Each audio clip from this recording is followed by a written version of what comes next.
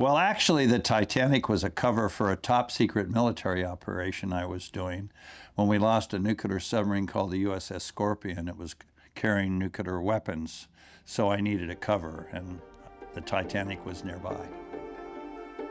There is no more famous shipwreck in the world. The Titanic has been found. Scientists of a joint U.S.-French expedition said today they have found wreckage of the ocean liner whose name is a legend, the SS Titanic. This is going to be a mixture of slides and video in an attempt to take you through the sequence of events that led up to the September 1 discovery of the RMS Titanic. There we are. There's Titanic. Wow. Beautiful.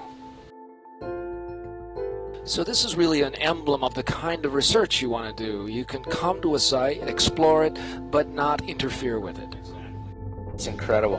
It's really amazing how the Titanic just never goes away.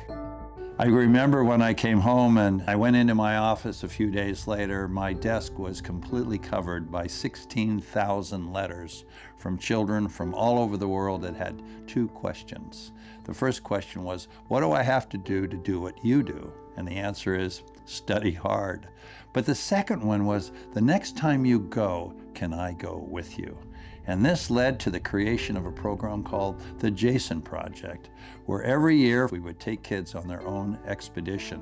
But it only lasted a few weeks. Now with the EV Nautilus, we can have them tuning in to nautiluslive.org 24 hours a day as we boldly go where no one has gone before on planet Earth. Well, to me, one of the most exciting things about exploring the Titanic was in 2004, we were able to go back to the Titanic. Think about it, the Titanic is resting in 12,000 feet of water. And to go down it in Alvin, it took me two and a half hours to get to work in the morning and two and a half hours to get back at night. So as a result, I didn't get to spend much time on the Titanic. But when we went back in 2004 with Hercules, we were able to spend days. I could sit back and really enjoy being there and seeing many, many, many things I never saw from that porthole of that submarine. Spectacular. You did it, man. Outstanding. Look at that image. Look at that. There's no ambiguity in what you're looking at. That's beautiful.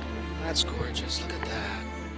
Listen, we're running out of time, but I just want to thank you so much for taking us on this tour. And thank all of you for joining us uh, here at the bottom of the ocean with the RMS Titanic. I'm the first of 13 generations of my family to go to college. My mother, I remember her saying, you know, we watched all your shows on today's show and tonight's show and tomorrow's show and every show you can imagine, but it's too bad you found that rusty old ship.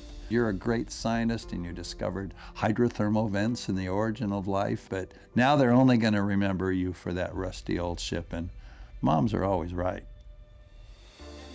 If you want to find more about the Titanic that you've never heard before, you want to check out Flying Fish Exhibit's new exhibit called Finding Titanic, The Secret Mission, which will be at museums and science centers all over the United States.